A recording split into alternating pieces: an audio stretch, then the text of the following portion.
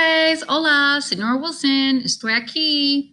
You should have watched the notes yesterday about los adjetivos, adjective positions in Spanish. This is a quick review of those notes. You should probably, if you're at home, get out a piece of paper and follow along and write these down. It won't take long. It should be un repaso, a review. All right, so we're going to start right here where it says the tall woman. And I told you yesterday, the very first word you want to start with is the noun. It's the most important word. A noun is a persona, cosa, or lugar, a person, place, or thing. So in this little phrase, the tall woman, woman is the noun. So I'm going to come right over here and I'm just going to start with woman, which is a mujer. Okay, that's kind of the basis, what I have to start building off of.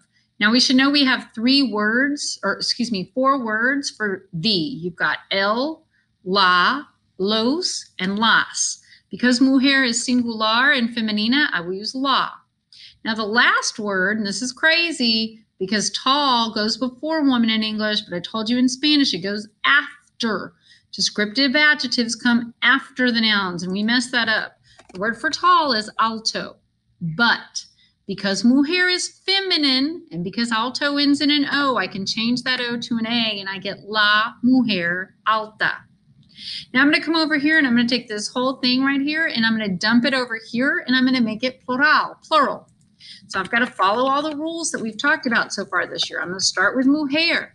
To make mujer plural, there are three rules. You can either add an S if it ends in a vowel, you can add an ES if it ends in a consonant, or you can change a Z to C and then add ES. So we should be looking here and we should say, okay, that ends in a consonant. I will follow regla dos, rule two, add an ES.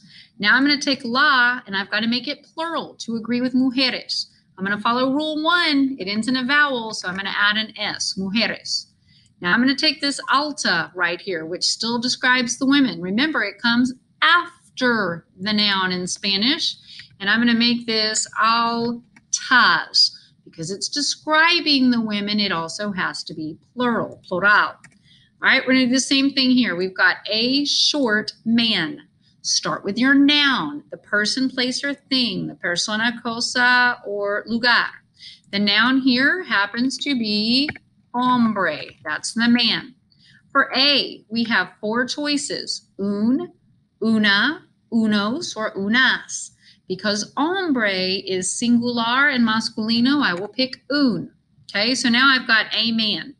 And this is weird, but short, the word for short comes after man. So short is bajo.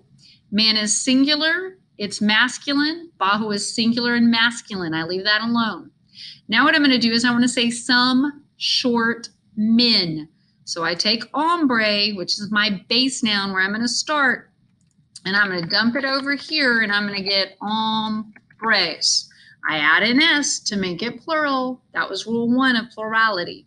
Now I've got four words. It's either going to be un, una, unos, or unas. Because hombres is plural, I'm going to make this one unos. Let me back it up. Okay, now I've got some in men. I need the word for short. It comes after. I know over here that short is bajo. So I'm going to take that and I'm going to put it right here. But there's a problem. It's now describing men. So I have to make it plural. I have to make it plural. It ends in a vowel, so I'll follow rule one of plurality, regla uno, and I will add an S. All right, very last review. I hope you're staying with me here. Hopefully you remember the word for backpack, that's our noun here, is a mochila, okay? If it's a backpack, you have four choices, un, una, unos, or unas. You can see that mochila is singular and femenina. Hopefully you will pick una mochila. The word for blue is azul. Remember, blue comes after the backpack in Spanish. The adjective comes after, that's backwards to English. So I've got one backpack and azul is singular. Over here, I'm going to take mochila, if I can spell it right, mochila, and I'm going to make it plural, so I'm going to add an S. I've got to take una and make it plural. So aquí, I'm also going to add an S. It ends in a vowel, add an S, not an A, N S.